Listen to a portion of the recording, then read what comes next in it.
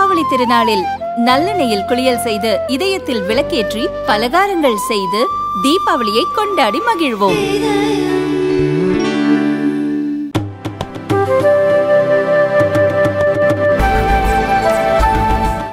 ஸ்ரீரங்கத்தில் எண்மண் எண் மக்கள் யாத்திரை நேற்று நடைபெற்றது.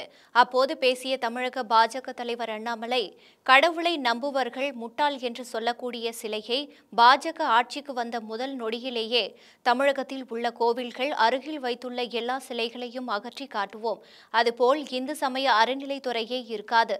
பாஜக ஆட்சிக்கு வரும் முதல் நாள் இந்து சமய அறநிலைத்துறையின் கடைசி நாளாக இருக்கும். தமிழகத்தில் பாஜக ஆட்சி வரும்பொழுது முதல் வேளை அந்த சிலையை அப்புறப்படுத்தி நம்முடைய சுதந்திரத்திற்கு பாடுபட்ட வீரர்கள் யாரெல்லாம் இருக்கிறார்களோ அவர்களது சிலைகள் வைக்கப்பட்டு வழிபடுவோம் என்று அண்ணாமலை அதிரடியாக பேசினார்.